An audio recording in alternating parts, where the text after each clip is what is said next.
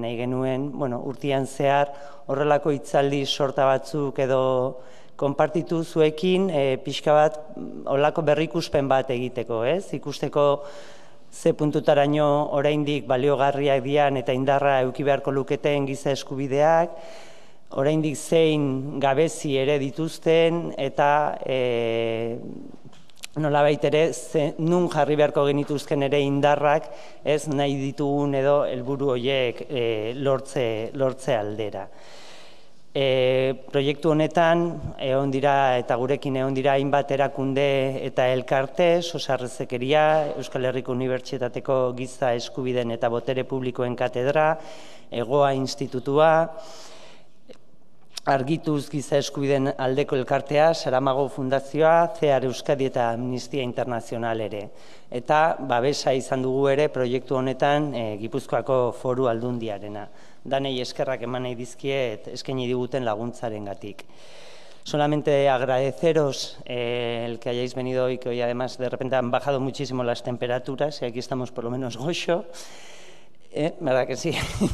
Recordaros solamente que la conferencia de hoy también está enmarcada en un ciclo de conferencias que hemos promovido a lo largo del año en cooperación con el Museo San Telmo desde Baquetic que el objetivo era un poco aprovechar el aniversario de que en breve, ya en diciembre, se cumplirá el 70 aniversario de la Declaración de los Derechos Humanos y queríamos aprovechar para reflexionar eh, conjuntamente un poco en torno a ellos, ¿no? ver todavía eh, bueno, mirar o ver qué miradas diferentes también y cuál es la vigencia, tanto a nivel global como local, de los mismos, reflexionar sobre los logros alcanzados y explorar también el potencial emancipatorio que algunos por lo menos todavía creemos que tienen y que deben alcanzar los derechos humanos. Eh, hoy nos acompañan desde Amnistía Internacional Eva Suárez Llanos y estará en el papel de moderadora Maribel Vaquero, que es la directora de Convivencia y Derechos Humanos de la Diputación Foral de Guipúzcoa.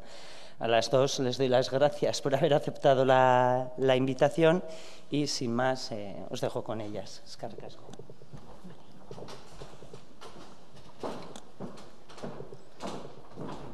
Bueno, arratsaldeon eta eta ongi etorria guzti guztiei. Niretzako ba gustoa da zuekin hemen egotea eta gaurko aurkezpen hau egitea. Aurkezpen arderaz egingo dut eta bueno, jarraian gure gure gonbidatua edo gure ponentea izango da hartuko du hitza. La ponente es Eva Suárez Llanos, directora adjunta de Amnistía Internacional de España. Eh, es de la, sección española desde 2011 y hasta la actualidad. Anteriormente, Eva Suárez Llanos fue miembro del comité ejecutivo de esta organización y presidenta de la misma entre 1999 y 2003 y directora de su departamento de campañas e investigación entre 2004 y 2008. También ha sido consultora en materia de planificación estratégica, comunicación y gobernanza para distintas organizaciones de derechos humanos, medio ambiente y cooperación. Bueno, esto es parte del currículum. Eh, el título de la ponencia de hoy es 70 años después, eh, nadie puede dar por sentado sus derechos humanos. Recetas para combatir las políticas de demonización. Bueno, antes de entrar aquí le, he preguntado qué son las políticas de demonización. Entonces, eh, yo creo que hoy nos va a quedar claro y si no, luego tenemos libertad para preguntar por si no hemos entendido algo y cómo podemos actuar en contra de esas políticas de demonización. Besterik gabe,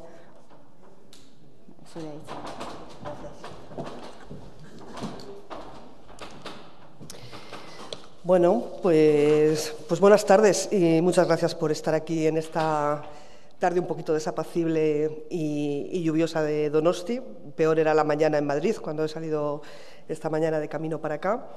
Y bueno, efectivamente se trataba un poco de, mm, eh, en este paraguas de la Declaración Universal de Derechos Humanos proclamada el 10 de diciembre de 1948, hace este año 70 años, en este eh, aniversario redondo, pues reflexionar un poco sobre mm, qué momento están viviendo hoy los derechos humanos, eh, eh, echar un poco la vista atrás, pero sobre todo eh, qué, nos espera para el futuro, qué retos tenemos de forma inmediata para que los derechos humanos, que para, la inmensa mayoría de las personas en el mundo siguen siendo papel mojado y algo muy, muy lejos de, la realidad, pues cómo seguimos mirando hacia adelante. ¿no? Y sería interesante pensar que, eh, si pudiéramos ahora trasladarnos a 1948 y, comparar el mundo de entonces con el mundo de ahora, eh, pues mm, sería interesante ¿no? poder tener esa, perspectiva después de, haber vivido la realidad de, entonces. ¿no? Eh,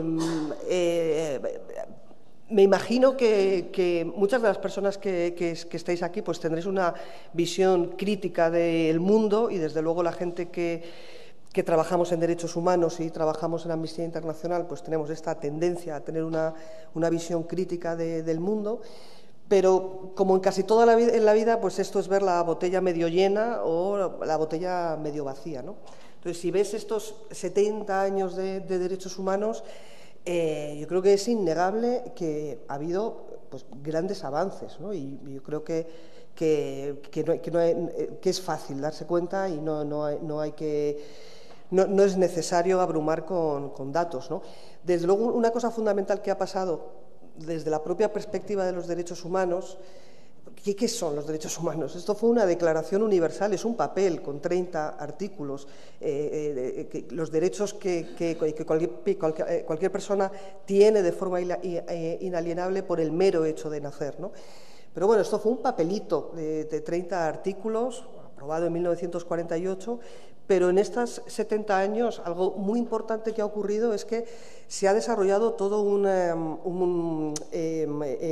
un entramado de convenios, eh, protocolos, comités de vigilancia, relatores, eh, diversos órganos de Naciones Unidas, todo esto es la jerga del mundo de los derechos humanos, pero que lo, que lo que se traduce es que durante estas décadas se ha dado significado a qué son los derechos humanos. ¿Qué significa la libertad de expresión? ¿Qué es? ¿En qué se traduce ese derecho? ¿Qué significa el derecho a la salud? ¿Cómo se codifica? ¿Qué significa esto desde el punto de vista de las obligaciones que tienen los Estados y los gobiernos, no solo para no violar los derechos humanos, sino sobre todo para hacerlo realidad, hacerlo realidad para las personas y para eh, dirigir los recursos disponibles a, los, que los derechos humanos de las personas se hagan realidad. Todo este entramado que es muy aburrido, que es una jerga, que son cosas muy técnicas, los convenios, los protocolos, la declaración no sé qué del relator de no sé cuántos, eh, realmente es, es, muy, es algo muy importante que ha ocurrido en estos 70 años y que, eh, eh, por supuesto, sigue siendo papel mojado para una gran parte de la humanidad, pero, bueno, 70 años no es nada, ¿no? parafraseando un poco el, tango. Y, luego también hay que pensar, pensando un poco con perspectiva, 70 años es mucho, pero, pero es nada desde el punto de vista de la historia de la humanidad, y algunos avances, por muy obvios que nos parezcan, pues son relativamente recientes. ¿no? Yo creo que mucha gente, sobre todo la gente más joven, se sorprende, por ejemplo, cuando eh, le recuerdas que la tortura eh, es algo que está prohibido en serio, con detalle, en la legislación internacional desde hace 40 años, no más. No, no es tanto, no es tanto en el tiempo ya de nuestras vidas. ¿no? Y otros avances son muchísimo más recientes, porque esto es algo que es, pasito a pasito, es el día a día, está en marcha. ¿no? Y, por ejemplo, pues no hace, pues, estamos hablando de una década si hablamos de por fin cuando la comunidad internacional se pone de acuerdo para establecer que los estados eh, eh, tienen prohibido, tienen la obligación de asegurar que no venden armas de forma irresponsable, armas que puedan utilizarse para cometer violaciones de derechos humanos, para violar el las leyes de la guerra en los, en los conflictos. ¿no? Esto es algo que ha ocurrido muy, muy recientemente. Por supuesto que está lejísimos de ser una realidad y nos quedará todavía mucho tiempo para, para, ver que sea una realidad y en España lo hemos visto hace muy, muy poquito con la venta de armas a Arabia Saudí, ¿no? de qué poco nos ha servido esta obligación contraída por España para asegurar que no vende armas que puedan ser eh, usadas para cometer violaciones de derechos humanos y hemos visto cómo rápidamente se han puesto por encima los intereses económicos y, bueno, se han vendido esas armas. ¿no? Pero también hemos visto, y en esto llevamos trabajando muchos años, y por primera vez en estos meses atrás, hemos visto todo un debate público al respecto, por esto lleva ocurriendo toda la vida, ¿eh? y hemos visto todo un debate público al, respecto que va a ser que, no salga tan barato para los gobiernos, que no sea tan fácil que estas cosas sigan ocurriendo en el futuro. ¿no? Esto es un camino de, es un pasito a pasito y tenemos que valorar eh, los avances que, que conseguimos. ¿no? Y yo creo que más en general, eh, eh, yo creo que no hay, no, hay, en fin, no hay que tener mucha perspectiva histórica para, poder darnos cuenta de que la gente en todo el planeta vive mejor que hace 70 años. Eh, hay mucha más gente que vive mejor, que tiene más acceso a la salud, que es menos pobre, que tiene más acceso a la educación, hay mucha más igualdad para las mujeres con todo el enorme, larguísimo camino que nos queda por hacer, ¿no?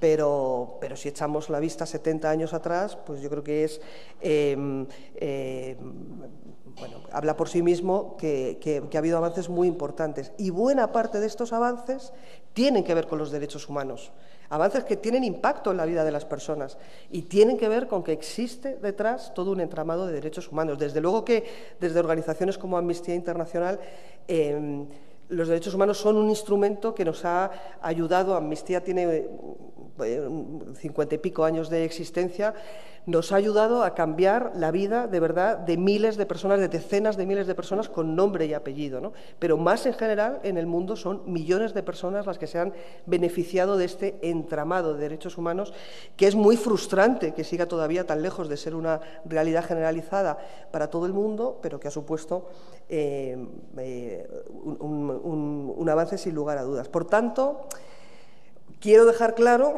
que yo parto desde el optimismo. Yo creo que seguramente todas las personas que, estáis aquí esta tarde, no sé, ¿alguna pensáis que no sois optimista? ¿Hay alguna persona que esté dispuesta a declararse no optimista? No lo sé. Yo, eh, si alguien dice que no es optimista, por aquí hay unos pesimistas. Yo niego la mayor. Si estáis aquí, tenéis que tener un grado de optimismo, porque si no, ¿qué ganas tienes de venir aquí a escucharme hablar de los derechos humanos y de algunas cosas que no son buenas noticias que voy a contar? ¿no? Pero, pero ¿por qué estamos aquí haciendo activismo de derechos humanos? El mero hecho de venir aquí a, a escuchar hablar de esto y a participar es hacer activismo de derechos humanos. ¿Por qué estamos aquí? Porque somos gente crítica, pero optimista, y pensamos que, después de todo, esto sirve para algo y es un avance y vamos poquito a poco. ¿no? Y, cuando, lo piensas, cuando lo piensas desde la, racionalidad y los datos, pues claro que ha habido avances y claro que el mundo que nos desespera lo mal que va, pues claro que muchas cosas pues va mejor, paso, paso a paso. ¿no? Hace poco, en este sentido, tuve la oportunidad de conocer la historia de una, de una mujer que se llama Helen. ¿Me escucháis bien, no? Si me aparto un poco el micrófono. Es una activista eh, de derechos humanos de, Amnistía Internacional, inglesa, ella nació en el norte de Inglaterra, y, esta mujer nació el mismo día que se estaba proclamando la Declaración Universal de Derechos Humanos. Nació el 10 de diciembre de 1948. Tiene, va a cumplir ahora 70 años. Y esta señora, porque ya es una, una señora, pues claro, ella recordaba el mundo en que nació, el mundo en que vivían sus padres en 1948, en plena posguerra, eh, con enormes dificultades. Pero esta señora, que es una activista y que ha sido una activista toda la vida, eh, enseguida, eh, a lo largo de su vida, hizo esa conexión entre la, importancia que había tenido ese marco de derechos humanos, esa declaración universal que se estaba proclamando el mismo día que ella nació, la importancia que había tenido, por ejemplo, en el hecho de que cuando ella eh, eh, era una mm, chavala, casi una niña todavía, tuvo un accidente, cruzó la calle y, y la atropelló un camión, tuvo un accidente grave y, quedó, bueno, no podía andar, tuvo un proceso de recuperación muy largo, de años, pero llegó a volver a, andar. ¿no? Y eso fue posible porque mm, había un, sistema universal de salud en Inglaterra entonces, ¿no? que no había cuando ella nació. Y ella hacía la conexión como el, hecho de que ese, momento en el que había ese clima de aumentar el acceso a derechos para las personas, ese, ese compromiso de los estados que se había dado con la Declaración Universal, cómo estaba relacionado con el hecho de que hubiera un sistema universal de salud al que ella pudo acudir de niña y pudo volver a andar, cosa que hubiera sido muy improbable si sus padres, que eran de recursos muy escasos, hubiera dependido el cuidado de su salud de los recursos de, sus padres. Y, esta señora también contaba, ella se hizo enfermera y, se fue a Sudáfrica.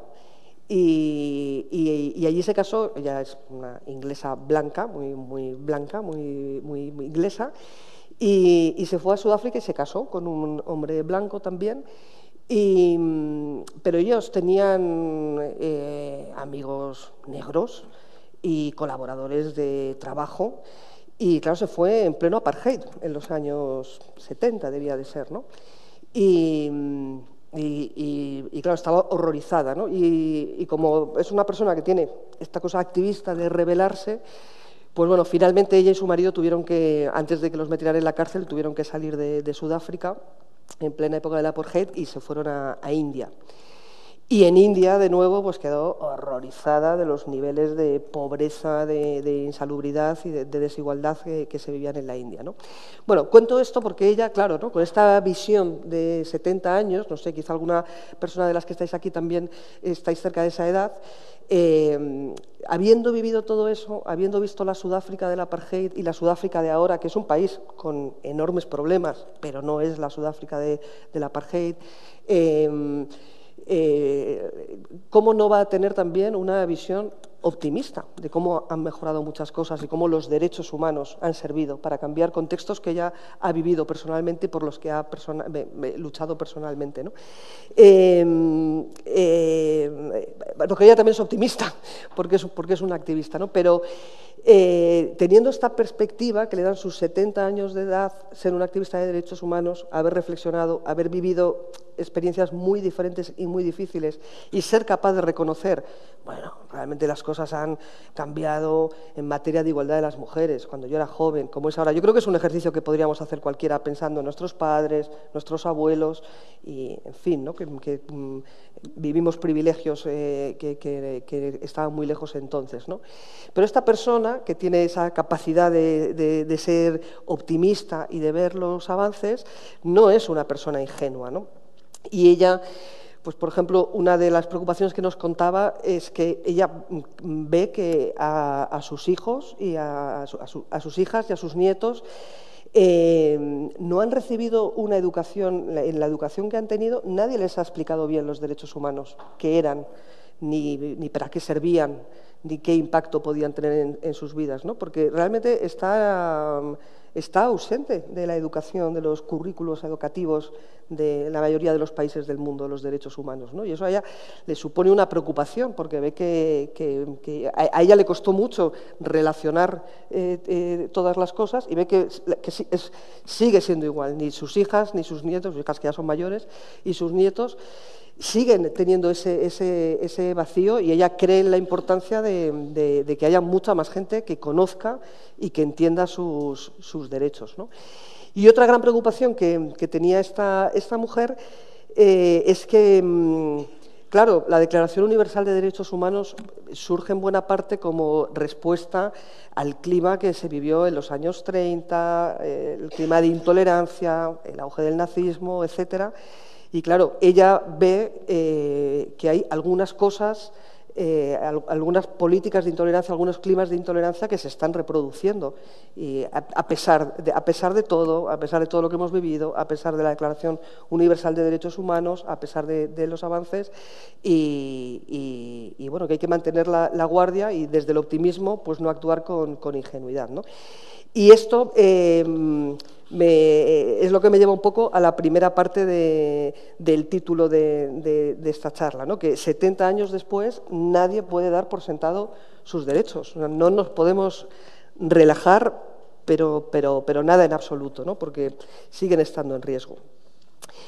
Y, bueno, esto de tener aniversarios redondos, pues son momentos para un poco para reflexionar ¿no? y para pensar, pues si hablamos de derechos humanos, hacia dónde estamos yendo. Eh, vamos hacia adelante, pues sí, hay avances, vamos dando pasos, eh, eh, son más vigentes ahora que antes, son más conocidos, tienen más legitimidad.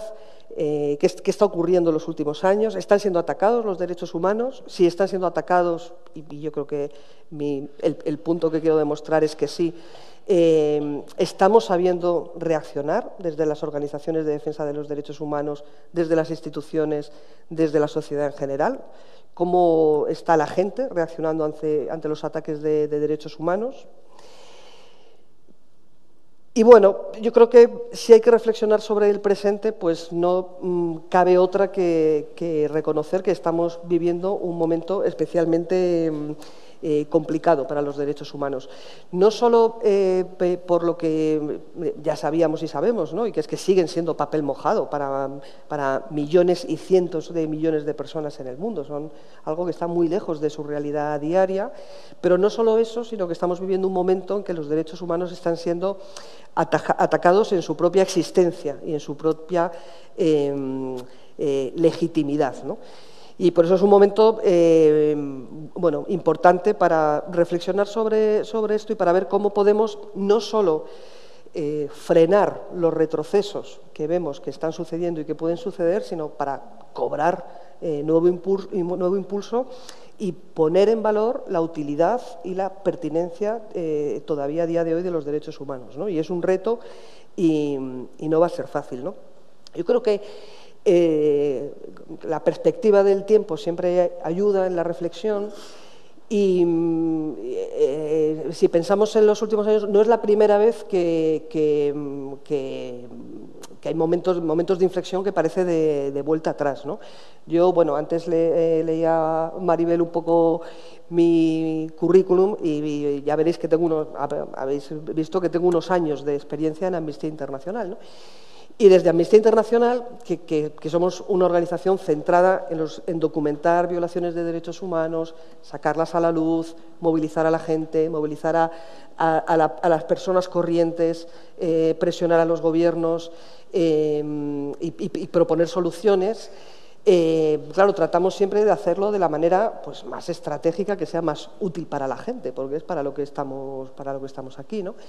Y claro, tenemos la obligación de adaptarnos al contexto, a los contextos cambiantes. ¿no? Y si hablamos de momentos de inflexión, de retroceso, pues yo recuerdo muy bien, ya siendo parte de Amnistía Internacional, cuando allá por el año 2000, claro, Amnistía Internacional, que, para quien nos conozca menos, pues es una organización que, como decía antes, tiene un poco más de 50 años y que nació sobre todo centrada en los derechos civiles y políticos. Ya estamos con la jerga del derecho, ¿no? pero hablamos del de, eh, derecho a, no ser torturado, del derecho a tener un juicio justo, eh, la lucha contra la pena de muerte, etc. ¿no? Nos habíamos especializado en ese tipo de derechos y no en los derechos económicos, sociales y culturales, vamos a llamar los derechos sociales para, abreviar, en el derecho a la educación, a la salud, a la vivienda no, no, no, no habíamos trabajado, no trabajábamos en ese tipo de derechos, entre otras cosas porque todo ese entramado que mencionaba antes, internacional,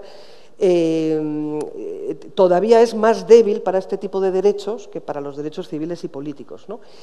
Pero bueno, todo, todo tiene su contexto y en el año 2000, oye, ya en pleno siglo XXI, ya Amnistía Internacional, ya somos una organización más grande, estamos en muchos países, hemos conseguido cosas importantes, eh, el convenio contra la tortura, es que no hacía tanto tiempo mm, que habíamos conseguido ya con la tortura, claro, sigue habiendo tortura, pero oye, ya hemos conseguido que haya un instrumento internacional contra la tortura, hemos conseguido impulsar un tribunal penal internacional para que no haya impunidad en crímenes de guerra, bueno, hemos conseguido cosas, la lucha contra la pena de muerte claramente es imparable, avanza, oye, estamos en el año 2000, se ha caído el muro de Berlín, es el momento de ponernos eh, en serio a trabajar sobre derechos que afectan a, la, inmensa mayoría de personas en el mundo, derecho a la salud, el derecho a la educación. Vamos a trabajar por los derechos sociales, ¿no? Bien. Esto era el año 2000, ¿no? Y claro, recordaréis perfectamente qué ocurrió en el año 2001. 11 de septiembre, atentados en las Torres Gemelas de, Nueva York y de repente una vuelta atrás espectacular en que tenemos que volver a defender que la tortura es inaceptable en cualquier caso y nos encontramos con democracias perfectamente consolidadas eh, y hablo de Estados Unidos y de Guantánamo, que, ahí sigue, cada vez más olvidado, por cierto, pero ahí sigue todavía, y hablamos de Reino Unido, democracia consolidada donde las haya, donde era impensable solo cinco años atrás que, que, un líder hubiera defendido abiertamente el uso de la tortura, esto era impensable en las finales de los años 90, eh, ¿no? Y en el contexto de la guerra contra el terror, de lo que sucedió con los atentados de 2001, pues nos encontramos con que, espera, espera, antes de ponernos en serio con nuevos ámbitos de trabajo y con los derechos sociales, espérate que hay que volver atrás, que de repente hay un retroceso y tenemos que volver a recordar lo básico, ¿no? derechos tan inalienables como, como el derecho a no ser torturado, que parecía que era algo ya superado. ¿no? Bueno, con esto quiero decir que hay que adaptarse al contexto y que hay momentos de, de retroceso y hay que Mm, cambiar sobre la marcha y adaptarse. ¿no? Y cuando ya eh, a finales de la década de los años 2000 ya nos estábamos recuperando un poquito de la guerra contra el terror, eh, que, ya se nos ha olvidado, pero que realmente eh, fue espectacular ver a, líderes europeos mirando hacia otro lado con el uso de la tortura. ¿Os acordáis los vuelos secretos de la CIA eh, llevando a personas de forma totalmente ilegal? Personas que estaban en el lugar equivocado, en el momento equivocado y a las que nadie ha reparado ni ha dado ninguna explicación de por qué se las llevó a, ser torturadas a un centro secreto de detención. Eran cosas impensables que se nos han, parece que se nos han olvidado ya, pero bueno. Eh, el caso es que cuando ya estábamos superando un poco esa, etapa a finales de los años 2000, pues de repente, eh, cuando ya podíamos pensar en, hacer más cosas que ser un muro de contención contra los retrocesos que habíamos visto, eh, bueno, pues llega esta crisis económica mundial brutal, inédita en muchos aspectos, que nos vuelve a cambiar completamente el, el escenario. ¿no? Eh, una, crisis que provoca en la gente la, percepción, que no es nueva, pero agudiza la percepción de que el poder político no importa tanto y que eh, eh, quien tiene el poder de verdad eh, son los actores económicos, son las instituciones financieras internacionales, son los poderes supranacionales, son los bancos, son las compañías aseguradoras. En España lo vivimos bien claramente con los rescates a los bancos, con las políticas de austeridad impuestas desde las instituciones europeas. Entonces, esta, esta crisis económica crea y acentúa esa sensación de de que triunfa en, los poderes económicos, la política tiene menos importancia eh, y aumenta la desigualdad y aumenta la, mm, sensación de agravio, eh, de, agravio en, mi día a día económico, en las posibilidades que tengo de salir adelante en la vida.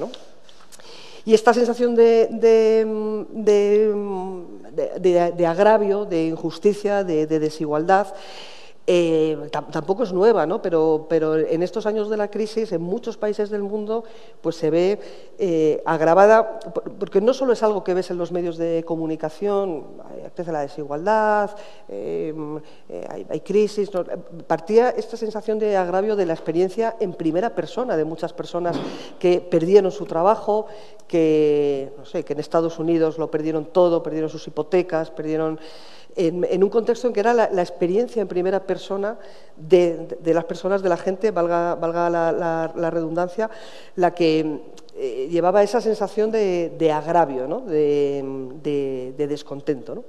Y este descontento generado en, estos años de, crisis económica, quién sabe si superada o latente y volverá, quién sabe, pero ese descontento ha sido un terreno abonado magnífico para las políticas de demonización. Y aquí llego a la segunda parte de, esta charla, que es el contexto en que vivimos ahora de políticas de demonización. Eh, ¿Y qué son las políticas de, demonización? Bueno, está claro que esta, esta preocupación por, bueno, por la, por la corrupción, por la falta de acción de la política, por la desigualdad, por las injusticias económicas, etcétera, pues no es nueva, ¿no?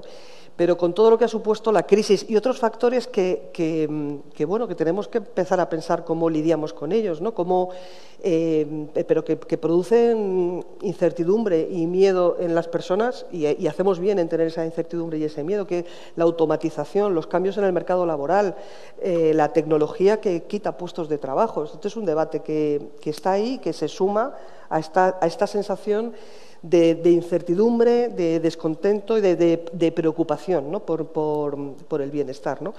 Y en muchos lugares del mundo mm, esta, preocupación, que no es nueva, pero acentuada, ha sido ese terreno abonado, bien aprovechado por discursos políticos excluyentes, eh, demonizadores, que criminalizan al otro, que buscan chivos expiatorios para nuestros problemas. Y esto es lo que llamamos políticas de demonización, los discursos eh, racistas, xenófobos, basados en, ellos contra nosotros. Ellos nos van a quitar el trabajo. Ellos van a hacer que eh, perdamos nuestro sistema de bienestar. Ellos van a hacer que nuestra vida sea eh, más insegura. Este tipo de, discursos em, eh, están calando, y luego me detendré un poco en, algunos factores que hacen que, realmente estén, encontrando facilidad para, expandirse. Este, estos discursos calan en, personas que realmente creen que eh, los derechos de otros van a ser a costa de los suyos, eh, que, eh, más derechos para las mujeres significa menos derechos para los hombres que, ve gente que ve, los derechos como eh, si alguien gana, yo voy a perder, ¿no? no, lo, ven como un, juego de suma cero. Si se, se va por aquí, se, va por, eh, se pierde por allá. ¿no?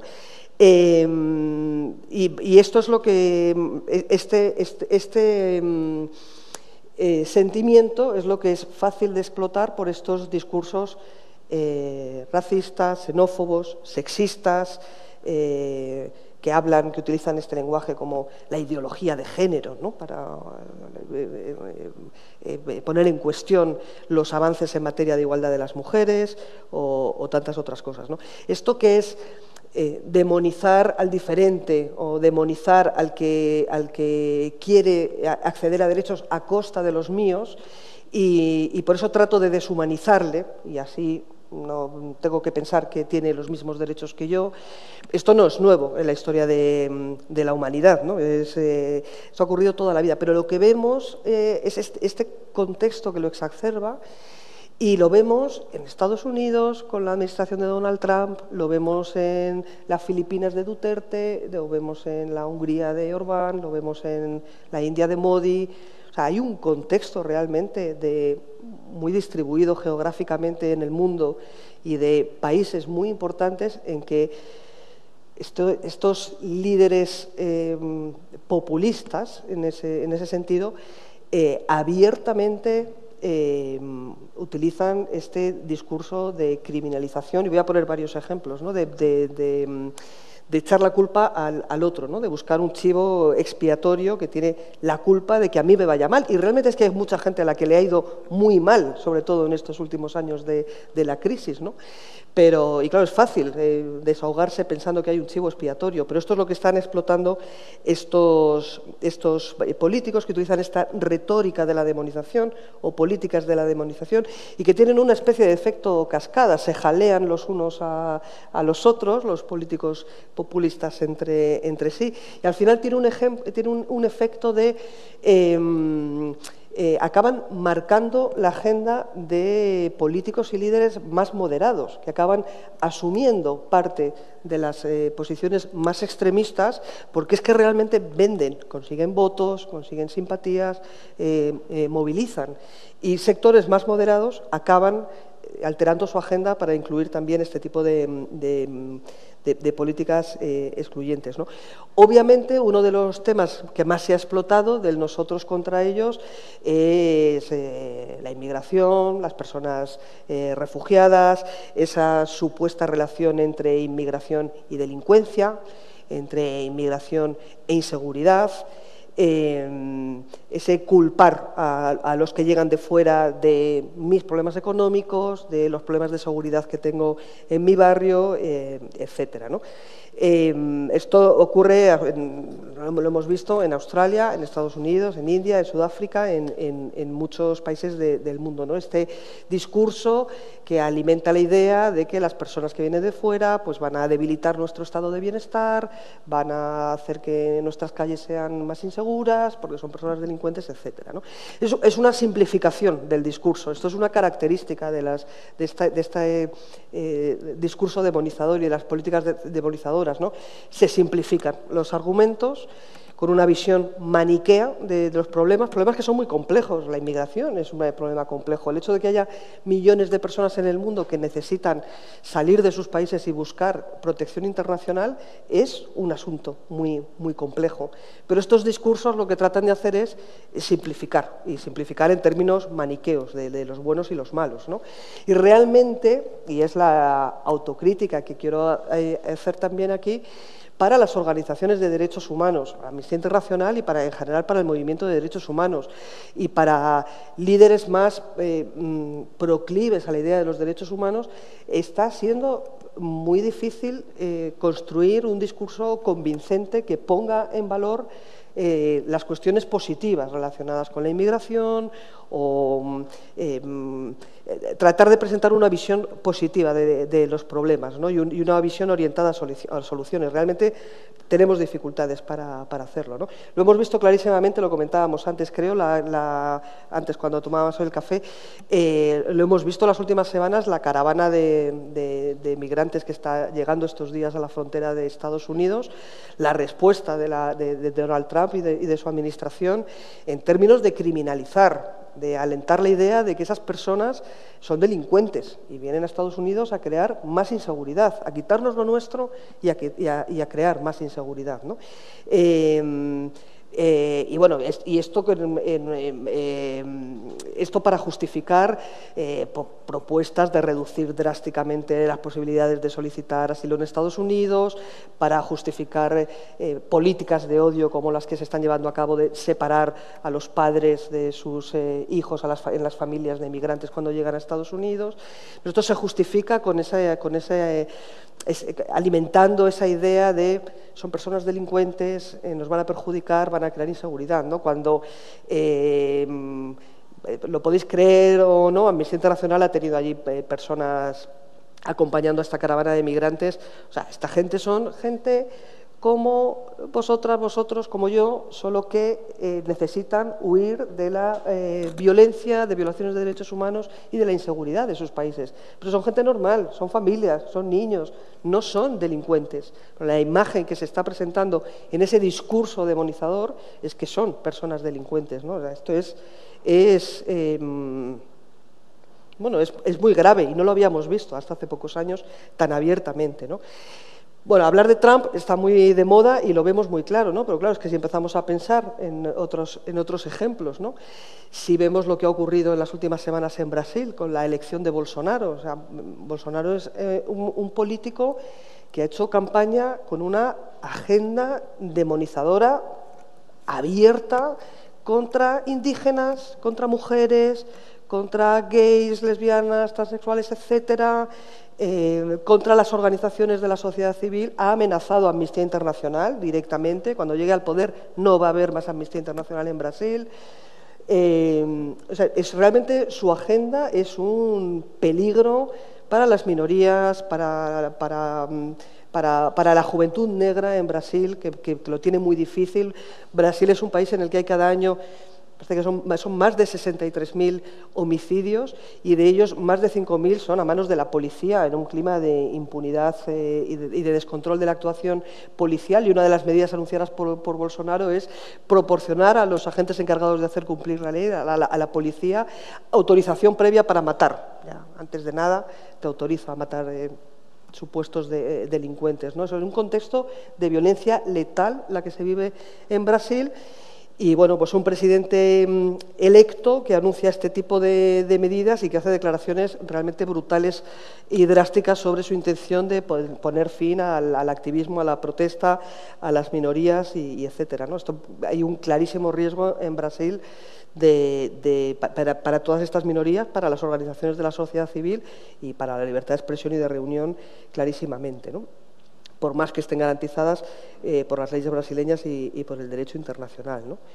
O Hungría, ¿no? Hungría, eh, país de la Unión Europea, que se permite una retórica xenófoba pero abierta completamente, sin tapujos, que cierra a cal y canto las puertas a las personas refugiadas, que, mm, que se salta alegremente los acuerdos del resto de Europa, no los voy a cumplir y ya está, eh, y que lo último que ha hecho es aprobar una ley ridícula que puede suponer penas de, hasta un año de cárcel por hacer un folleto sobre las personas refugiadas, por hacer un folleto, por encargarlo, por distribuirlo o por imprimirlo. ¿no? Es una cosa completamente eh, desquiciada que forma parte de una campaña intimidatoria ante, hacia, hacia, todos quienes han tratado de enfrentar el discurso xenófobo, que se viene dando en, Hungría y que es otro ejemplo de discurso de, demonización. ¿no? Bueno, podríamos poner otros, otros ejemplos también, ¿no? Pero lo comentaba antes con, Maribel, ¿no? ¿Qué, qué ¿Por qué están ganando terreno estos discursos demonizadores? ¿Por qué hay tanta gente que está comprando estos discursos y apoyándole? Porque lo vemos en las elecciones que se dan en muchos países. Eh, es una realidad que no podemos, eh, ante la que no podemos cerrar los ojos. ¿Y por qué están, están triunfando?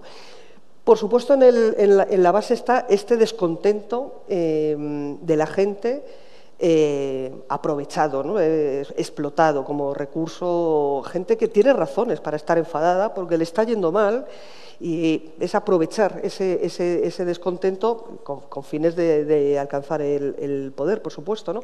Pero ¿qué hacen para estar consiguiéndolo? Porque yo también quiero convencer a la gente de que los derechos humanos son estupendos y no lo estoy consiguiendo tanto, ¿no? las organizaciones. Em, ¿Qué es lo que hace? ¿Qué, es, ¿Por qué están triunfando ahora? Y me gustaría señalar tres cosas que, bueno, que, favorecen y que lo están haciendo bien. ¿no? Una es que, si os fijáis, eh, estos eh, líderes eh, con discursos de odio, de criminalización del otro, de demonización, han moderado su imagen en muchos, en muchos casos. ¿no? No, no, no van acompañados de skinheads, por decirlo de alguna manera. ¿no? No, no, no utilizan necesariamente símbolos neonazis. ¿no? Tienen una estética mucho más moderada, tienen sus centros de estudio para dar una apariencia de mm, ideología bien construida a sus propuestas políticas. Incluso hacen una cosa que ya es el colmo, que es... Eh, utilizar, utilizar los derechos de, unos contra los derechos de otros. Por ejemplo, en Europa, estos eh, discursos de la extrema derecha sobre Claro, es que si nos invaden las comunidades de personas musulmanes con la llegada de personas refugiadas, ¿qué va a pasar con los derechos de las mujeres? Porque ya se sabe cómo son los musulmanes con los derechos de las mujeres, como si les hubieran importado alguna vez los derechos de, las mujeres, ¿no? incluso con los derechos de, las personas gays o, lesbianas. ¿no? O sea, es el colmo del cinismo, ¿no? pero están sabiendo explotar también incluso esos argumentos. ¿no? Nos van a robar las personas que llegan eh, para justificar los discursos xenófobos, ¿no? las, personas refugiadas, las personas que, están llegando a Europa, eh, van a acabar con nuestros valores, van a acabar con nuestra identidad, con la libertad de nuestras mujeres. Y, bueno, explotan bien ese tipo de, argumentos y lo hacen utilizando eh, un marketing muy bueno y, les está funcionando. Y hablando de marketing, otro segundo factor que está haciendo que estas políticas de demonización ganen terreno, lo comentaba antes con Maribel también, es eh, oye, que usan fenomenal las redes sociales. El caso de las elecciones de Estados Unidos ya se ha convertido en un clásico de estudio, pero bueno, hay muchos estudios ya sobre Estados Unidos y en general, ¿no? Cómo las redes sociales que tienen esas características, esa forma de funcionar, esos algoritmos que hacen que si yo me intereso en un tema, la información que me van a ofrecer va a ser relacionada con ese tema. Que claro, si me interesa el tenis y me ofrecen información relacionada con el tenis, está estupendo, pero si yo tengo tendencia a simpatizar con discursos de odio, todo lo que me va a ofrecer es información que refuerce mi discurso de odio y mis argumentos para justificar los discursos de odio. Y esa es una realidad que, está ocurriendo y que, y que, está siendo bien aprovechada por, por, quienes utilizan estos discursos demonizadores que encuentran muy fácil cómo propagarlos en, haciendo un buen uso de, las redes sociales. ¿no? Y eh, que lo combinan además con presentarse como víctimas de los medios de comunicación tradicionales. ¿no? Bueno, veíamos hace poco cómo Donald Trump echaba a un periodista de la CNN de su rueda de prensa, pero esto lo hace Marine Le Pen en Francia eh, también, ¿no? esta cosa de somos, somos víctimas de los medios de, comunicación. Y esto lo sumas a que no tienen empacho el utilizar falsas noticias o hechos alternativos, y es algo que estamos normalizando de alguna manera, es así, y ya no pasa nada, aunque se demuestre que, de forma repetida se están eh, facilitando datos falsos. Bueno, este contexto facilita también eh, la expansión de estos discursos de, demonización.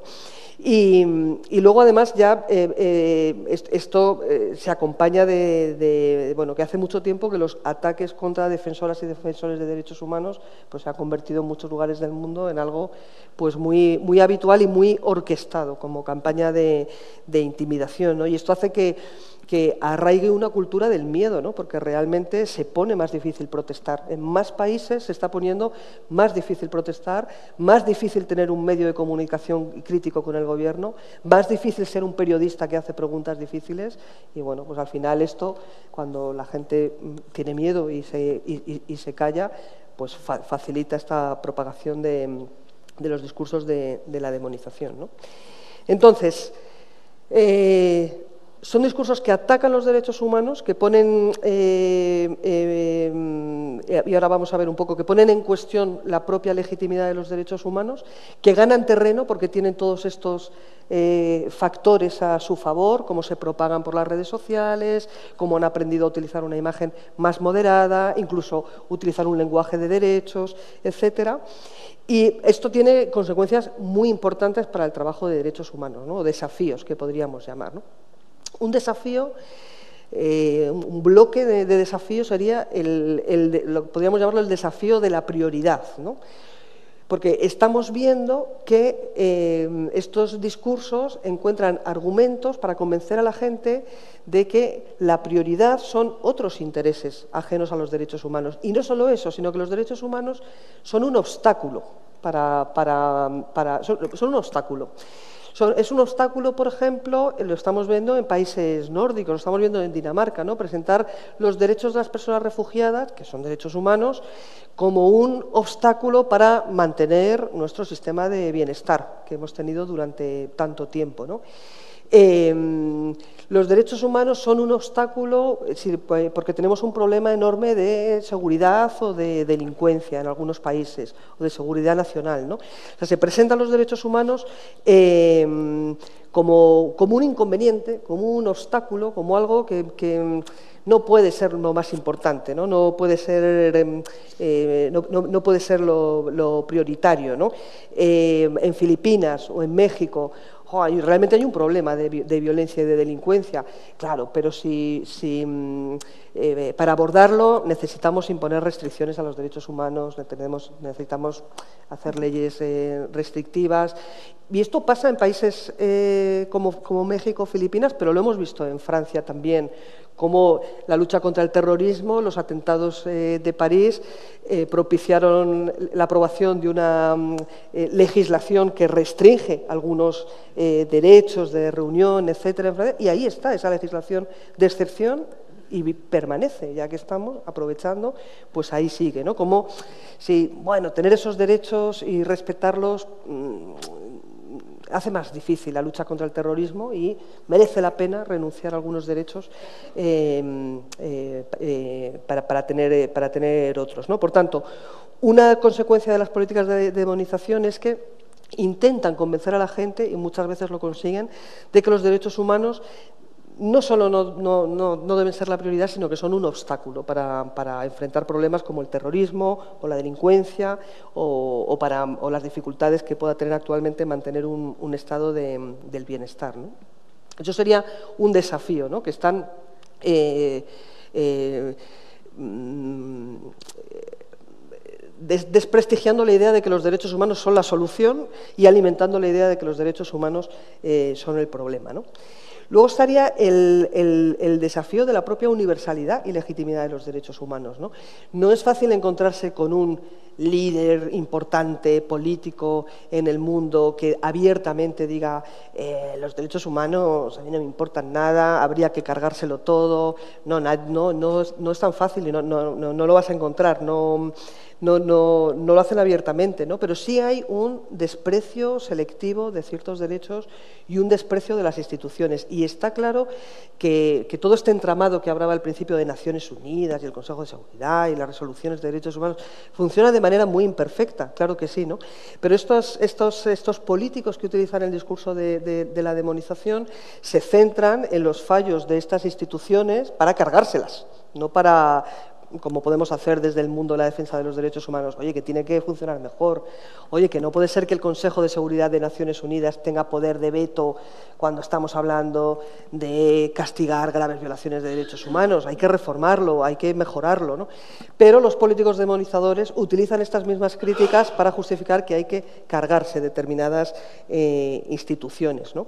Y, es así. El, mismo gobierno de Dinamarca, que es un país que eh, impulsó la Convención de, para los derechos de las personas refugiadas en su día, bueno, pues ahora ha abierto un debate sobre, pero todos los derechos para las personas refugiadas o solo algunos y no los que tenemos el resto de la población, ¿no? O sea, esto es fuerte, es un intento de deslegitimación de los derechos humanos, pues que no lo, no lo, no lo, no lo habíamos visto eh, hasta estos últimos años. ¿no? Por tanto, Segunda consecuencia. La primera era el problema de la prioridad y de presentar los derechos humanos como obstáculos.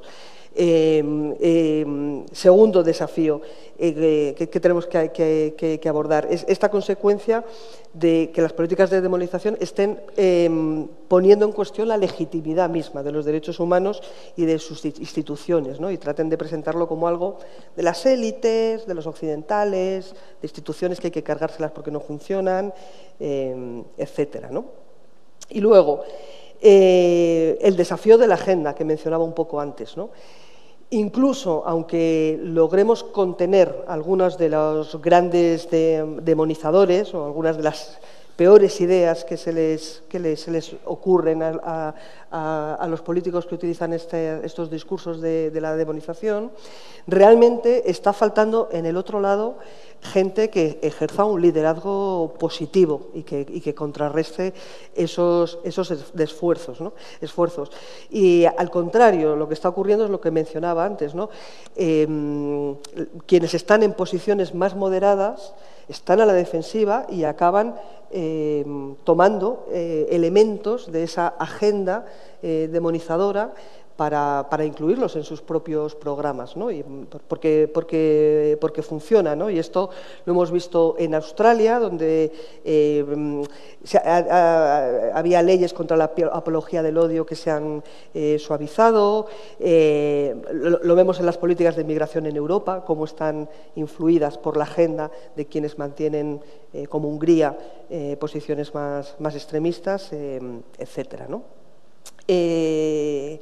Y bueno, decía que, está siendo difícil encontrar líderes que, hablen desde el lado positivo, que ofrezcan una versión positiva, que enfrenten estos intentos de deslegitimar los derechos humanos y yo creo que también, pues haciendo autocrítica, tampoco lo estamos sabiendo hacer excesivamente bien desde las organizaciones de derechos humanos, desde las eh, instituciones que, que, no tienen intención de ponerlos en cuestión, ¿no? pero nos está costando eh, mostrar que los derechos humanos son los que dan soluciones a las preocupaciones de la gente, que las soluciones no están en prescindir de los derechos humanos o de algunos ni de algunos para unos, para unos pocos. No, no es esa la, la solución, ¿no? pero es verdad que en muchos lugares del mundo, pues los derechos humanos todavía, aquí estamos en nuestra visión europea, ¿no?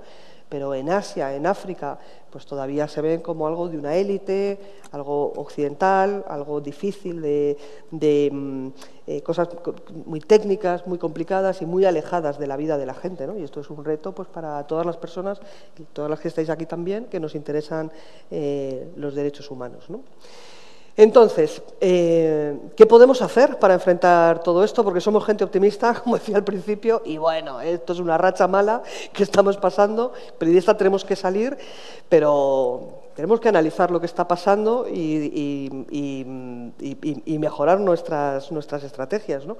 Por un lado, lo comentaba antes con, Maribel, ¿no? tenemos que, encontrar... Eh, tenemos que seguir evolucionando y, encontrar maneras de, mm, trabajar más por, cuestiones que mm, afectan de forma más mayoritaria a la gente. Volvemos otra vez a los de los derechos sociales, al derecho a la salud, al derecho a la vivienda, a preocupaciones que están justamente en la base de ese descontento social y que se pueden abordar desde la perspectiva de los derechos humanos, porque los estados tienen obligaciones al respecto. ¿no? Y tenemos que ser capaces, desde las organizaciones, de hacer eso y de trasladarlo a la gente. Eh, los derechos humanos pueden ser la herramienta, el instrumento que solucione los problemas para eh, disponer de una vivienda eh, tuyos y de, tus hijos. ¿no? Y tenemos que abordar este tipo de preocupaciones para convencer a, una mayoría de gente de que los derechos humanos no son el obstáculo, son justamente la solución si se hacen, si se hacen em, realidad. ¿no? no es solo. Y, tenemos que convencer a más gente, no a quienes ya estamos convencidos. Tenemos que llegar a la gente que todavía no ha descubierto que los derechos humanos pueden ser la, solución y no, el, y no el obstáculo. ¿no? Y luego también tenemos que comunicar mejor y tenemos que ser capaces de dejar de utilizar la jerga que en parte yo acabo de utilizar en esta charla tenemos que utilizar un lenguaje más sencillo, más desde las emociones, eh, porque, porque, porque ese es el tipo de sociedad en la que, en la que vivimos. ¿no? No, la gente, vivimos en una, sociedad que cambia a una velocidad vertiginosa, cambia la manera de comunicarse, cambia eh, nuestra manera de, tener información, cambia eh, los volúmenes de información y nuestras fuentes de, información. ¿no? Tenemos que adaptarnos a esa nueva manera de, comunicarse, a, la comunicación emocional. Eh, las personas, no, en el mundo de hoy, la gente no toma las decisiones eh, exclusivamente por motivos racionales. No, no, vale solo los argumentos racionales y los datos. Cuentan mucho las emociones. Y, quienes propagan políticas de demonización juegan mucho con las emociones de la gente. Tenemos que aprender a trabajar en positivo también las, las, em, las emociones de la gente. ¿no? Em, tenemos que mejorar nuestro discurso y convencer de que los discursos de los derechos humanos son algo que afecta a la mayoría de la gente y que puede mejorar eh, los derechos de, la mayoría de la gente. Y luego, se lo decía también antes a, Maribel, tenemos que ser capaces de conectar con más gente, pero conectar con la gente joven. No sé, ¿cuántas de las personas que estáis aquí tenéis menos de 25 años, por ejemplo? ¿No? menos de 30, menos de 30 y alguien. Sí, ¿no?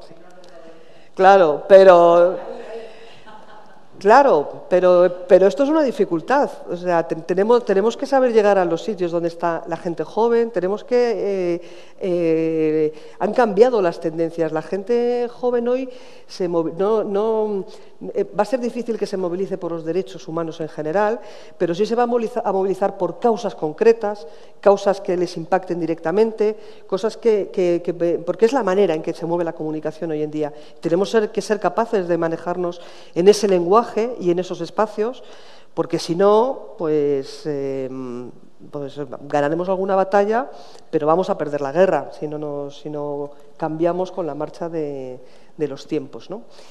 Y yo creo que lo voy a dejar aquí porque ya he soltado un rollo impresionante, tengo la sensación.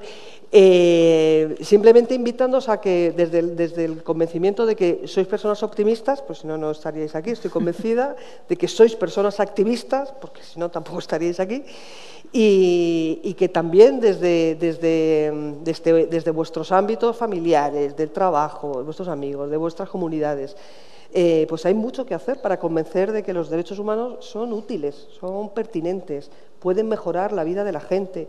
Si hablamos del derecho a la salud, antes o después, todos vamos a necesitar un buen sistema de salud que cubra, nuestros problemas de, salud y que pueda ser accesible para todos. Todos lo vamos a necesitar alguna vez en la vida y esos son derechos humanos también y tenemos que lograr hacer esta conexión. Y para terminar voy a poner un vídeo, allá, ¿verdad?, que resume todo lo que he contado, pero en un minutito y con algunas imágenes que siempre será más entretenido. Y con esto os doy las gracias por haber tenido la paciencia de escucharme y quedamos a vuestra disposición.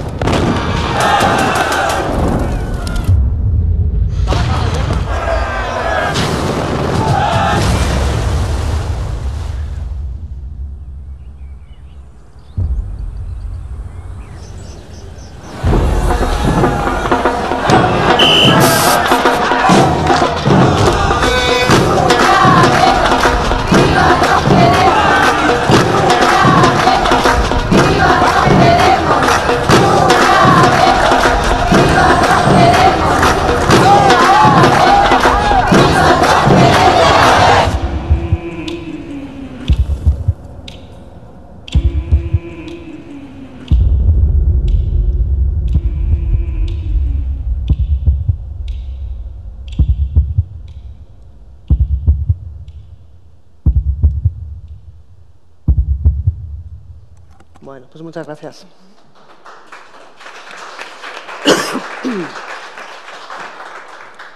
Bueno, antes de dar paso a, las, preguntas, igual sí hacer un poco, ¿no? Eh, un pequeño resumen de, las, de, los, apartados, los puntos más importantes eh, que ha citado Eva. Ha hablado de los avances de los derechos humanos, que evidentemente no estamos en la misma situación que estábamos en 1948 y que en general aunque no es para todo el mundo, se vive mejor que en 1948.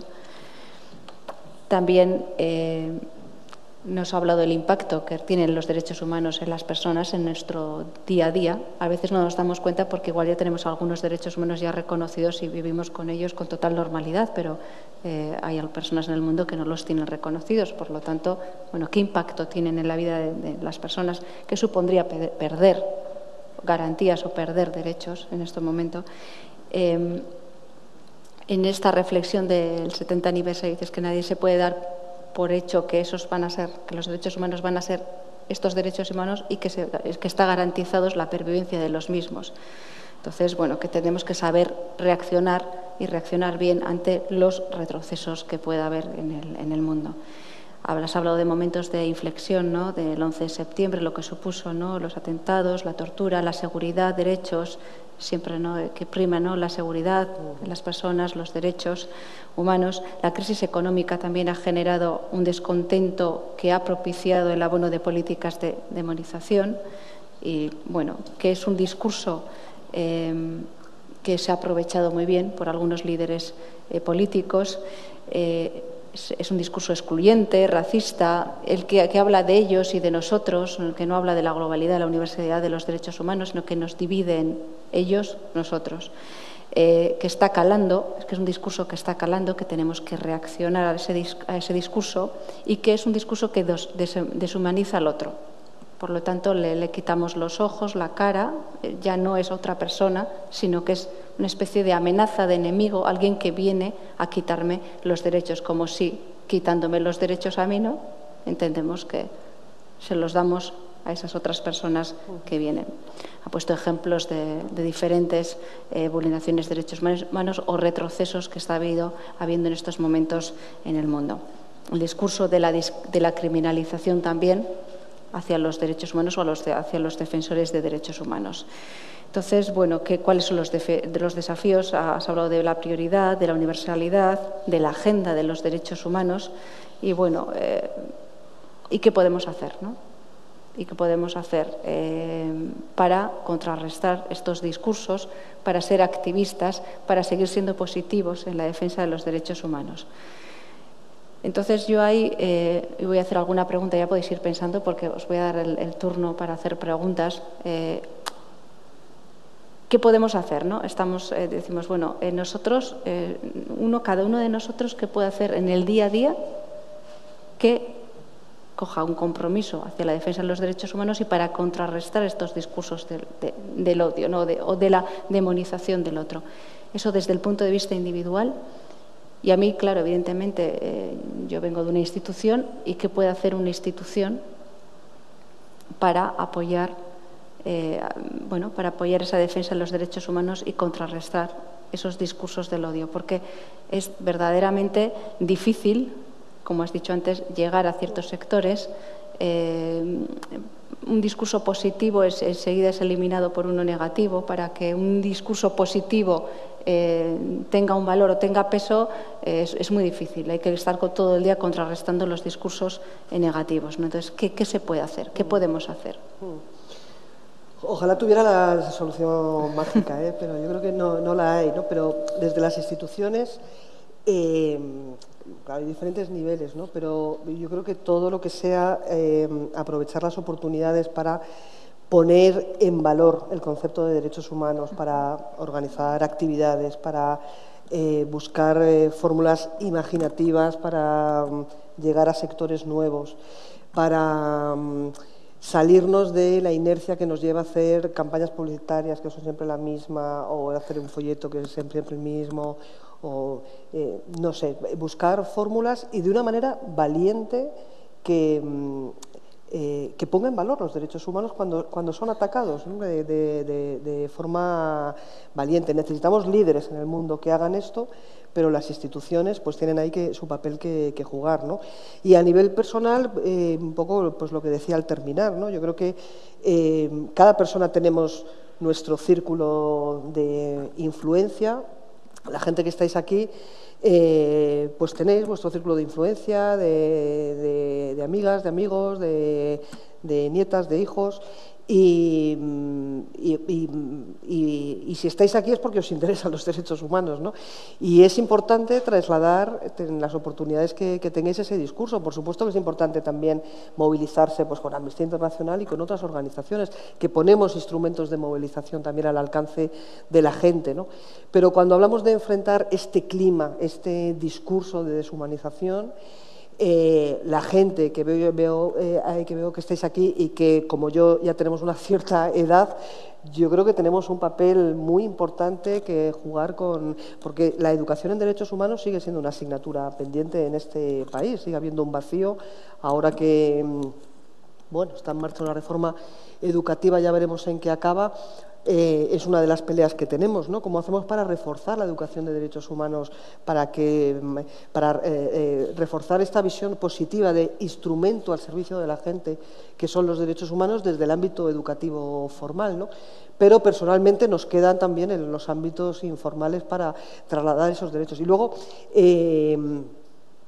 que es, difícil, efectivamente, y lo comentábamos antes también, a los medios de comunicación les encantan las noticias negativas, es difícil, es difícil dar visibilidad a, las noticias positivas, que las hay, y a los motivos para la esperanza. ¿no? Y yo creo que también en, la gente normal, y sobre todo cuando hablamos con gente más joven, pues tenemos que transmitir las cosas que hemos visto mejorar y que cuando la gente se pone en serio y la gente se moviliza, pues las cosas se mueven y funcionan.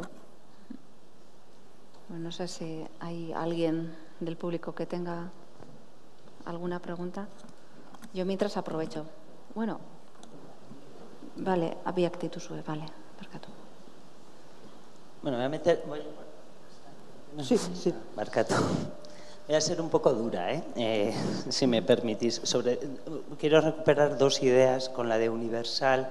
Cuando vino Javier de Lucas utilizó una idea que me pareció muy interesante que dijo eh, algo así, eh, lo estoy de memoria, eh, pero algo así como que en el momento en que los conquistamos pasaron a ser privilegios de unos y, y, ya está. Y se negó esa universalidad, ¿no? Entonces, querría un poco que profundizáramos en esa idea. Y luego en otra idea también que has dicho, eh, que, no sé muy bien cómo resolverla, pero que sí creo que es un poco finita. Has dicho que a veces se plantea, eh, por ejemplo, cuando los derechos de las mujeres, ¿no? parece que entonces los hombres no tienen que tener derechos. ¿no?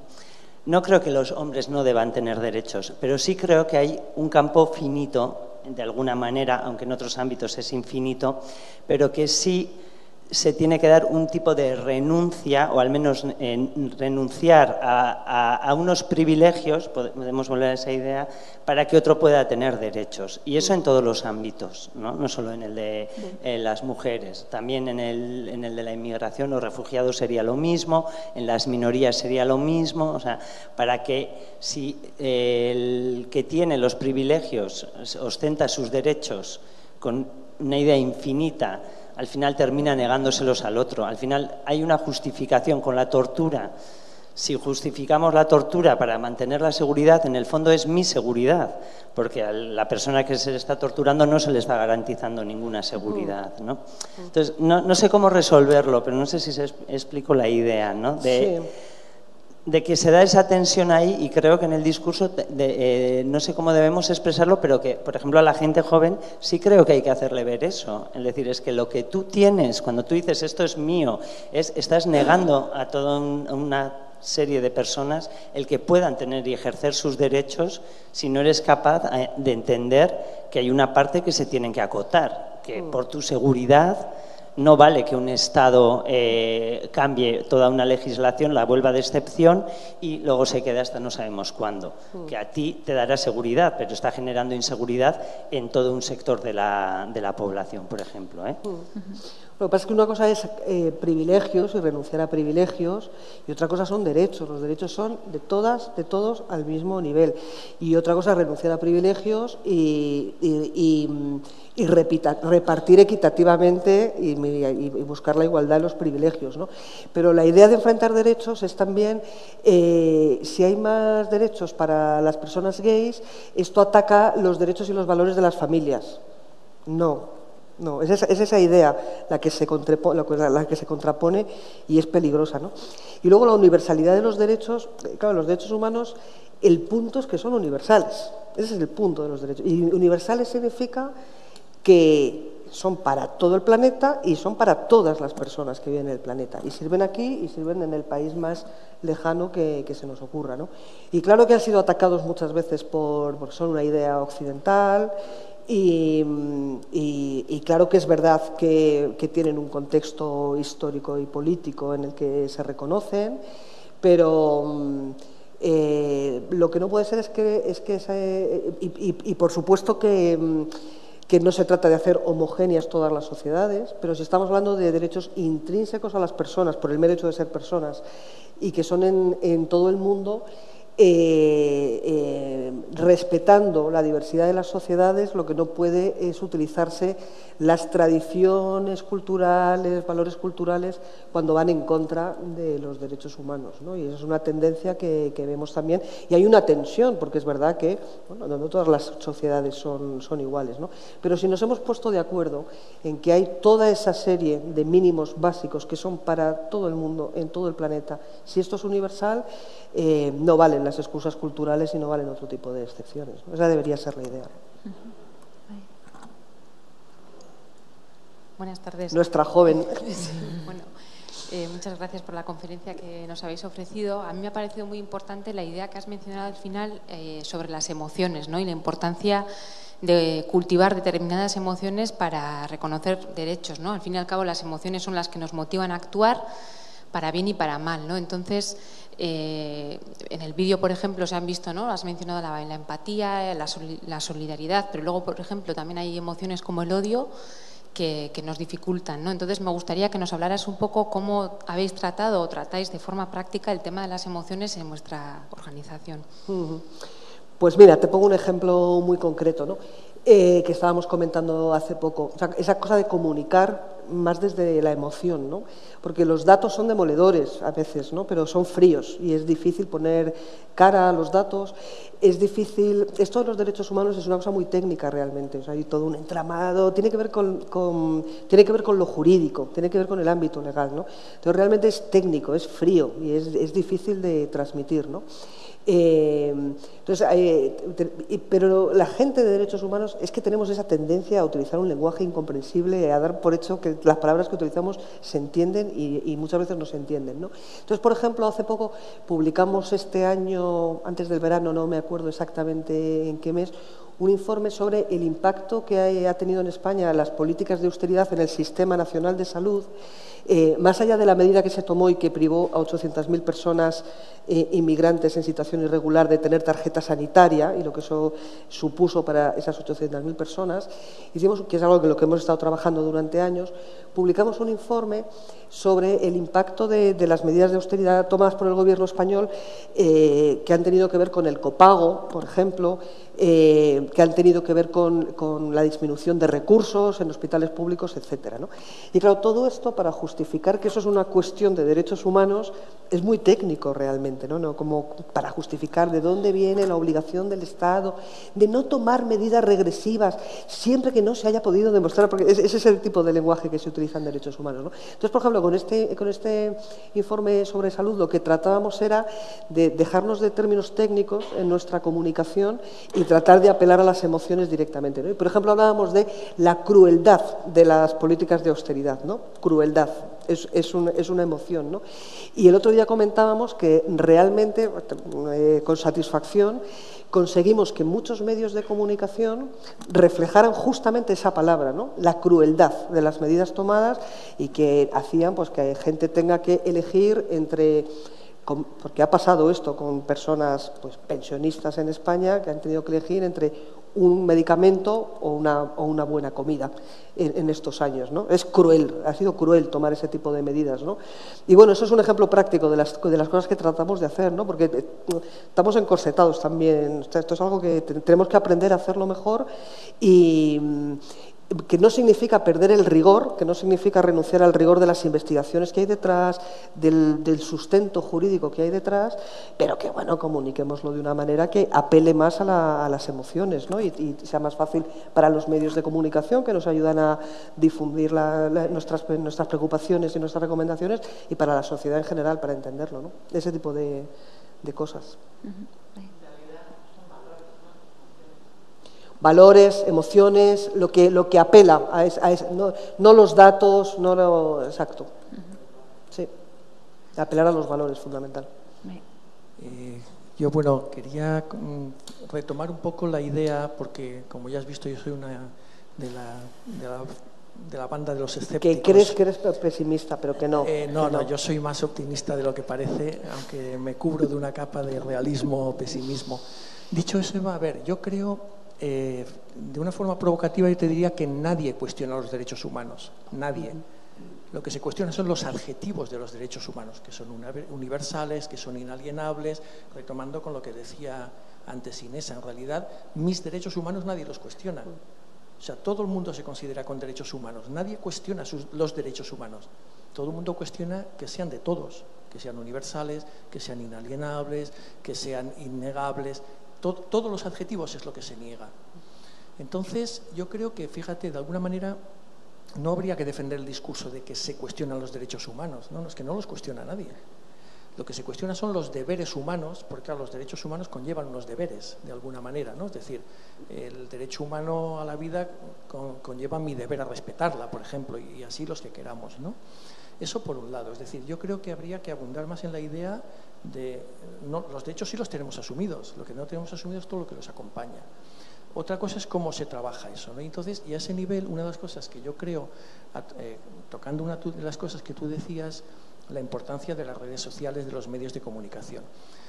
Yo creo, eh, efectivamente, hay una parte de difusión que tenemos que hacer en el gota a gota, que somos cada uno de nosotros. Yo puedo hablar con mis vecinos, con, mis, con las personas, no admitir eh, de alguna manera esos comentarios que van en contra de los derechos humanos que son tan fáciles, sí, porque estos negros, porque estos no sé qué, porque estos sudacas.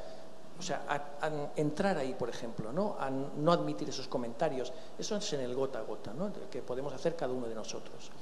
Pero luego hay un, las redes sociales eh, tienen un manejo internacional, un manejo que ya no se da ni aquí mismo, ni en, este país, o sea que no tengo ni idea cómo funcionan, pero lo que tengo claro es que no funciona en el ordenador de casa de mi vecino, ¿no? Y ahí yo creo que los organismos internacionales seguramente tenéis igual una visión más amplia o un papel más amplio, ¿no? Un Amnesty seguramente tiene una visión y una capacidad de influencia a nivel global que no sé si os la planteáis, si creéis que eso es posible, porque al final quien está creando el clima social son los medios, las redes sociales, mm. y eso es muy difícil. El, típico argumento es, como todo el mundo sabe, los tal, las tal, hacen, son así, son así, como todo el mundo sabe. ¿no? Y ese es el argumento que se utiliza y eso es lo que nos van metiendo en la cabeza. ¿no? Por tanto, no sé si desde los organismos mm. tan grandes como Amnesty eh, veis una, una, forma de actuar más, más global frente a un problema que es global, de alguna mm. manera. ¿no? Bueno, dos cosas. Una es que es que los derechos humanos, si piensas que son tus derechos, no, ya no estamos hablando de derechos humanos, porque mm, derechos humanos significa en sí mismo universalidad, indivisibilidad. Si le quitas esas características, ya estamos hablando de otra cosa. Ya no estamos hablando de, derechos humanos. ¿no? Entonces, claro, eso es lo que se está poniendo en cuestión. ¿no? Y luego lo que dices de las redes sociales es que es fundamental, es que es el mundo de hoy. Te gustarán más o menos, te parecerán más frívolas o menos. Eh, eh, pero es la manera de comunicarse y es una herramienta muy importante. Y desde Amnistía Internacional, que no somos tan grandes, ya quisiéramos, son una internacional, y, pero ya quisiéramos ser tan grandes, pero claro, es una herramienta para activistas de todo el mundo. ¿no?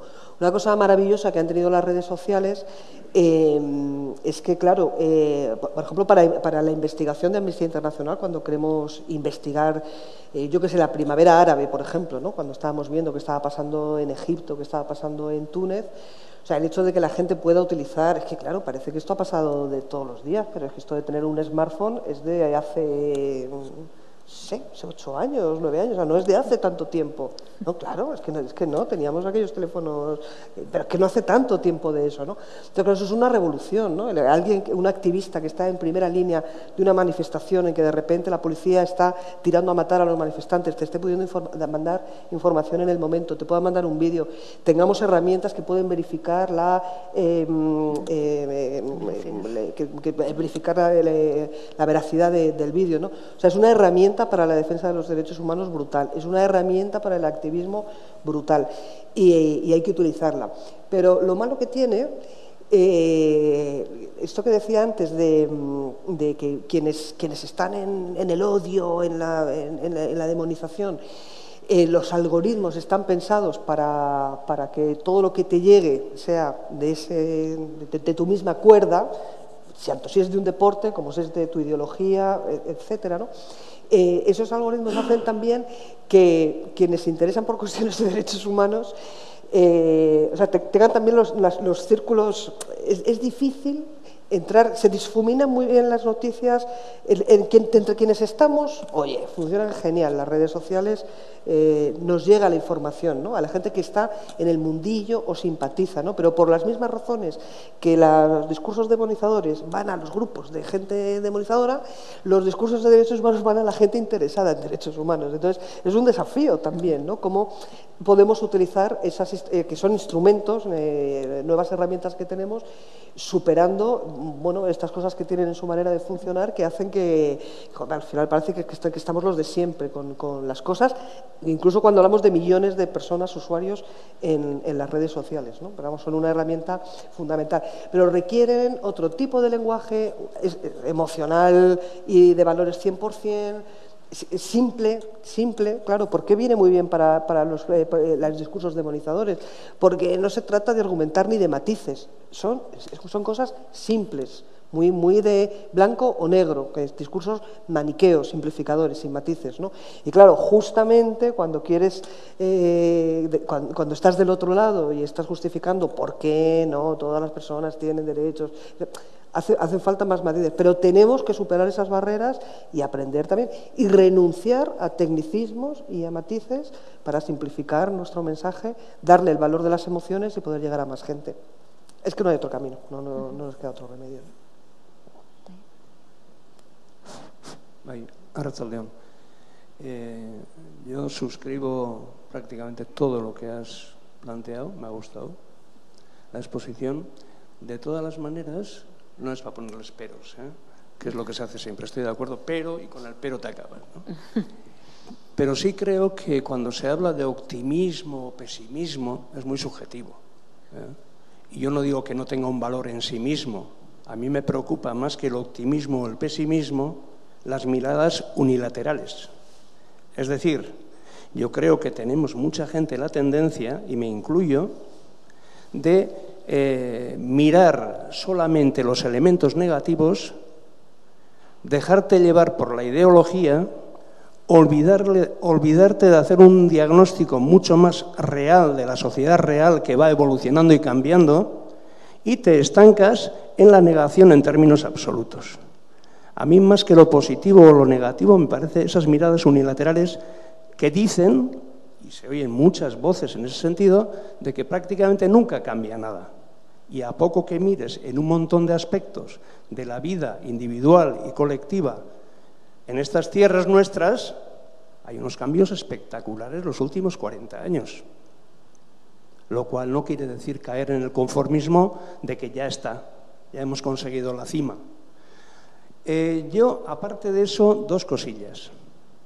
Creo que has pasado de puntillas en un factor que para mí es muy importante. En este retroceso de la situación, no solamente europea, sino mucho más allá, de este aumento de, de la extrema derecha. Uno es el descrédito de la clase política unido a que los poderes reales no están en las instituciones en gran medida, sino que están fuera de ellas. Has hablado de los poderes económicos, financieros, etcétera, etcétera.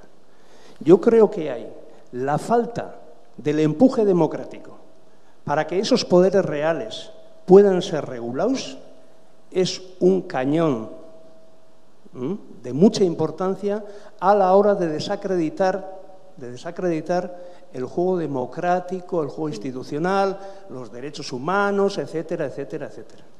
Y si mientras hay no se meta mano, yo creo que los flancos que se abren también hacen méritos, ¿eh? las propias instituciones para desacreditarse. Pero yo creo que ese factor tiene mucha más importancia de la que se le suele dar, porque son los que diseñan prácticamente todo el modelo de sociedad en todos los campos en todos los campos de la vida. Y dejar de lado eso, los poderes reales, yo creo que es un elemento que va, que actúa en contra nuestra. Y luego la otra cosilla que quería comentar también en torno a ese descrédito y a ese aumento o empuje de la extrema derecha, también hay que decir que es una construcción falsa en su inmensa mayoría de todas las cosas que dicen, aunque hayan refinado muchísimo el discurso. No son los fachas de Hilder y no sé qué. Eso no nos serviría, porque el cambio es muy grande en el lenguaje. Ahora, la construcción es absolutamente ficticia y falsa, esa construcción racista, etcétera, etcétera. Entonces, también habrá que pensar que ahí habrá que empezar también a desgastar, ahora que están en época de vacas gordas o relativamente vacas gordas, habrá que pensar también que hay que actuar sobre ella porque es una construcción ficticia y que también llegará otra fase de desgaste y esperemos que sea cuanto antes. Bueno, yo lo del optimismo eh, lo digo porque cuando, cuando si hablas de derechos humanos tienes que, tienes que dar una visión crítica, que estamos para, para criticar lo que no está bien y mejorar, ¿no? Pero, y, claro, a veces es difícil, hay tantas cosas que nos desesperan, que a veces es difícil transmitir esa cosa de esperanza de, cambio, ¿no?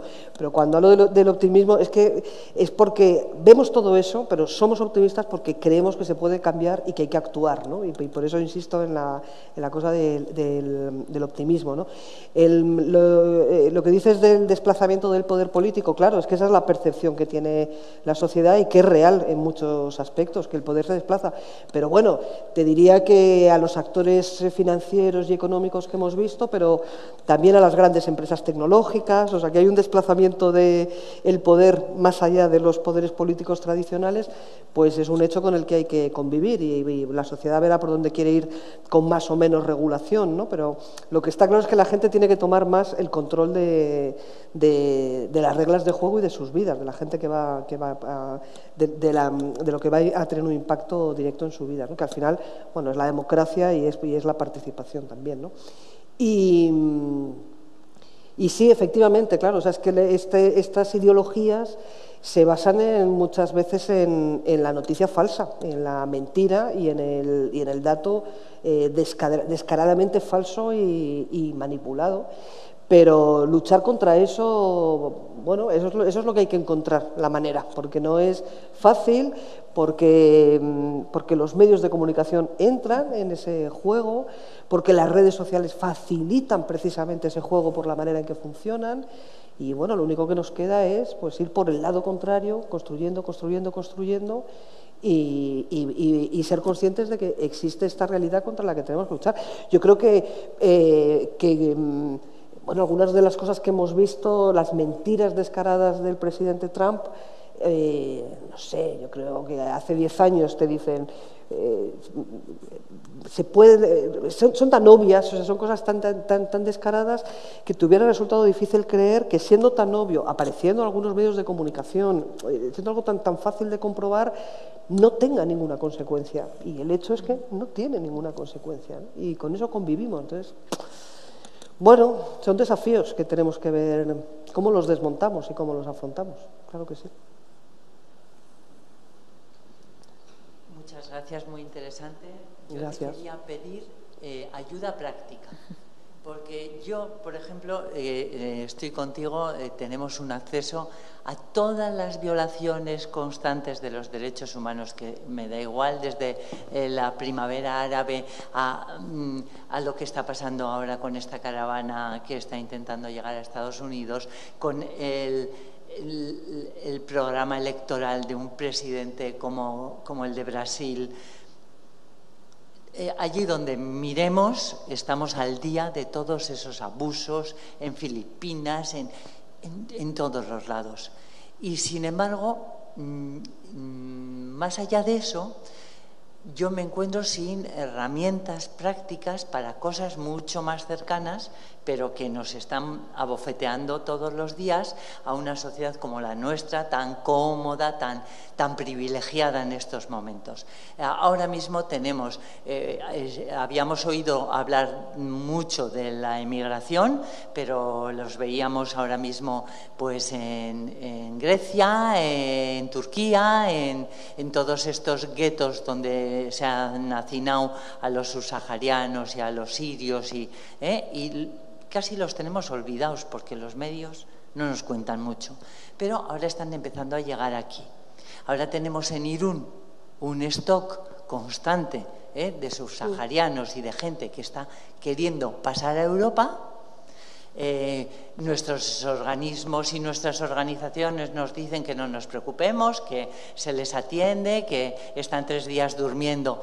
Eso es mentira, o sea, hay unos mínimos que, que, se cubren para quedar bien, pero no sé ni si tienen en realidad un, ahora mismo un mecanismo de emergencia, de atención a todo este colectivo y sobre todo una política de no permitir que los franceses nos lo devuelvan, ¿eh? que no se les deje paso, que tengan que estar bueno, escondidos, están intentando escondidos llegar a Endaya y escondidos entre las casas, meterse en un tren. En, Y yo digo, ¿quién me da herramientas a mí para qué hacemos? ¿Dónde vamos? ¿Cómo les apoyamos? ¿eh? Te cuentan en el informativo veintitantos cadáveres eh, recogidos en la playa de no sé dónde. Pero es que ahora nos ha tocado aquí, podemos echar una mano. ¿Cómo lo hacemos? ¿A quién le pedimos? Yo creo que conozco un poco lo que está pasando. Desgraciadamente no tenemos capacidades de Amnistía Internacional para llegar a todas partes y estamos muy centrados en la frontera sur, porque esto, lo de Irún, o sea, por supuesto es importante, ¿no? Pero claro, pero claro, es que está el Mediterráneo, es que están las cosas como están, ¿no? Y no tenemos capacidad para, para, mm, para estar allí sobre el terreno, ¿no? Yo creo que, que en muchos lugares del mundo, lo hemos visto también en la caravana de migrantes de Estados Unidos, eh, o sea, ha habido reacciones horribles realmente, pero también ha habido gente muy solidaria que ha hecho cosas estupendas y gente y, la gente más humilde, ¿no? que ha puesto lo poco que tenía al servicio de la gente que estaba pasando por sus localidades camino de, la frontera de Estados Unidos. ¿no? Y yo quiero pensar que acá tenéis eh, asociaciones, movimientos vecinales. Quiero pensar que tenéis un tejido de la sociedad civil que puede jugar un papel y además presionar a las autoridades acá para que por lo menos proporcionen una ayuda de emergencia a estas personas y, puedan resolver los problemas más, más acuciantes. ¿no? Pero es muy frustrante ver, es muy frustrante. Y es muy frustrante ver el retroceso y es muy frustrante ver que no se aprende de los errores, de cosas eh, de políticas que se pusieron en marcha hace 15 años de eh, lo que se llama externalización de fronteras, o sea, que la gente no llegue a nuestras fronteras y se quede más allá, todas las consecuencias que eso ha tenido en el Mediterráneo durante años y, vamos muy para atrás en las políticas europeas en materia de inmigración. ¿no? Y, el, el, el leitmotiv sigue siendo construir una fortaleza Europa construir murallas alrededor de Europa para que la gente no llegue. La gente va a llegar igual, van porque eh, no, tienen otra opción y, van a seguir llegando. Y es muy frustrante, vamos, comprendo perfectamente tu, frustración, eh, así es, ¿no? en, materia de, asilo e inmigración, o sea, queda tanto por hacer en Europa. Eh, pero claro, es que el contexto es tan complicado con algunos países de Europa con un discurso tan, tan, tan abiertamente xenófobo, tan, tan cuestionador de, los derechos más básicos que es muy difícil que Europa se ponga de acuerdo al alza. Sea, hay que estar muy vigilantes para que los, mínimos estándares que hay en Europa por lo menos no vayan a la baja. ¿no? Y en España tenemos que seguir peleando porque España no está cumpliendo con sus compromisos de acogida ni de resentamiento y, bueno, vamos a ver qué pasa con la reforma de la, Ley de Seguridad Ciudadana, que es la que contiene la disposición que facilita las devoluciones en caliente, y ahora mismo hay un debate eh, abierto y parece difícil, a pesar de todo lo que, se, lo que han dicho algunos partidos políticos estando en la oposición, especialmente el PSOE, parece difícil que se pueda eh, esa ilegalidad mm, que se ha tratado de legalizar y que, que, no es posible, parece, parece difícil que se vaya a cambiar. Es, es, frustrante, ¿no? Pero antes comentaba, como yo creo que comentábamos en el café, sí, me parece que era cuando estábamos tomando un café, que la Amnistía Internacional tenemos presencia en muchos países, eh, en otros países, ¿no? Y claro, nuestros colegas de Europa, debo deciros, que nos miran con envidia en algunos aspectos, ¿no? Porque claro, hay, países de Europa ahora mismo en el, que el, discurso xenófobo está tan presente en el discurso público diario que aquí vemos barbaridades y nos desespera, y nos desespera que siga habiendo devoluciones escalientes y nos desespera que se sigan sin cumplir los compromisos adquiridos en materia de reasentamiento de personas refugiadas, pero mm, pero bueno, que está muy difícil el, contexto en otros, en otros países. ¿no? Y el riesgo es que acabemos bajando los, estándares en vez de, impulsando retrocesos en vez de yendo un poquito para adelante.